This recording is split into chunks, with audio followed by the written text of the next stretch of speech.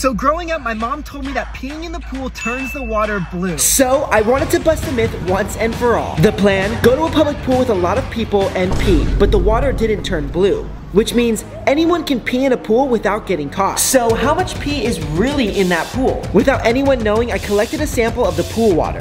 Then I brought it to a water analysis laboratory. Thank you. So we'll run some tests and we'll get back to you, Brent. Awesome, thank you. The results came in and it was shocking. Well, the concentration of the urine in the pool is pretty high. Really? 2.5 liters of urine. This much urine. That much? Yes, this much. Pretty gross, huh? Yeah, that's nasty. Subscribe if you ever peed in a pool.